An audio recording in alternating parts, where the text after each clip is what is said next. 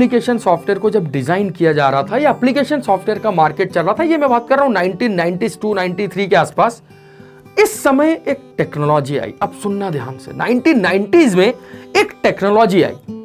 और इस टेक्नोलॉजी में क्यों आई, ये भी रीजन समझना, क्यों आई, ये टेक्नोलॉजी क्यों आई?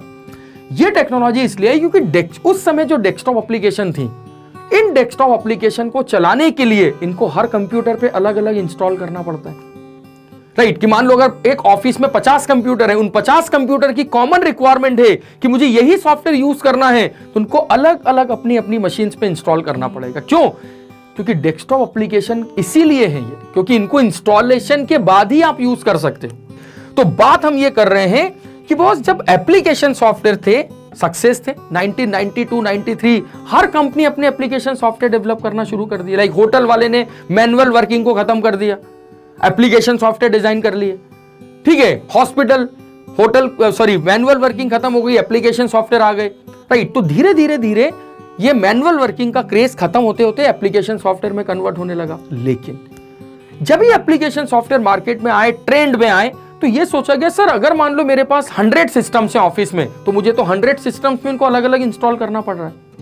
तो यहाँ सोचा गया कि क्या यह पॉसिबल है कि एक सिस्टम पे इस सॉफ्टवेयर को इंस्टॉल कर दें और बाकी उस सिस्टम के अलग अलग नोड मतलब ये भी सिस्टम्स ही हैं, इस मेन सिस्टम पे सॉफ्टवेयर को इंस्टॉल कर दें और ये जो अलग अलग कंप्यूटर है right computer one system one है, ठीक है, ये सिस्टम वन है, ये टू है, ये थ्री है, ठीक।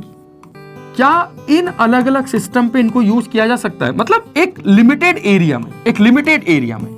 I am talking about limited area कि चलो दस सिस्टम है। वन टू थ्री फोर क्या ये हो सकता है कि एक सिस्टम पे मैंने एक सॉफ्टवेयर को इंस्टॉल कर दिया and that software can be use in multiple system तो उनने बोला, बिल्कुल हो सकता है। तो यहाँ पर आप देखो, एक कॉन्सेप्ट आया, एक टेक्नोलॉजी आई, जिसने ये पॉसिबल किया कि आप एक लोकल एरिया में एक सॉफ्टवेयर को इंस्टॉल कर दो, एक मशीन पे, और इसको 10 अलग अलग मशीन पे एक्सेस करना शुरू कर दो। तो ये जो इन्वायरमेंट आया, ये जो टेक्नोलॉजी आई, इसको बोला गया लोकल एरिया नेटवर्क या इंट्रानेट सुना होगा कभी आपने नाम?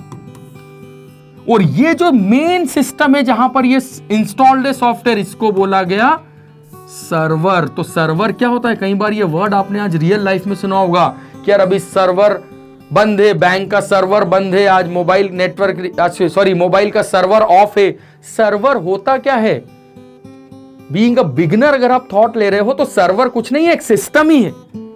एक कंप्यूटर है जिसकी कैपेसिटी नॉर्मल कंप्यूटर से हंड्रेड टाइम्स और मोर देन दैट ज़्यादा होती है। डिपेंड्स ऑन द रिक्वायरमेंट तो सर्वर मतलब क्या है? वो सॉफ्टवेयर जहाँ पर एक सॉफ्टवेयर वो सिस्टम जहाँ पर एक सॉफ्टवेयर को रख दिया गया।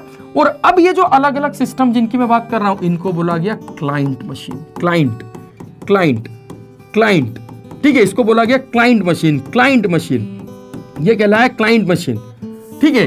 ये कहलाई क्लाइंट मशीन तो ये जितनी भी मशीन है these are called client machine तो जब ये पॉसिबल हुआ कि बॉस एक सर्वर पे एक सॉफ्टवेयर को इंस्टॉल करके इसको मल्टीपल क्लाइंट में एक्सेस किया जा सकता है तो इसी कॉन्सेप्ट को बच्चे बोला गया क्लाइंट सर्वर क्लाइंट सर्वर इसी को बोला गया client server architecture this is called client server architecture जो कभी आपने सुना हो। क्लाइंट सर्वर आर्किटेक्चर मतलब क्या? तो क्लाइंट सर्वर आर्किटेक्चर की शुरुआत ऐसे हुई थी। इंट्रानेट से लोकल एरिया से।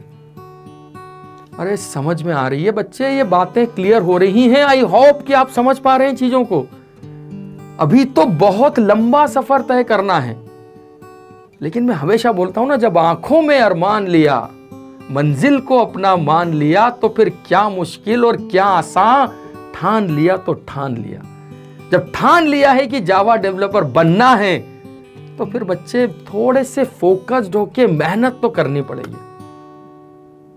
राइट क्योंकि बच्चे इसके बाद ही नाम होगा।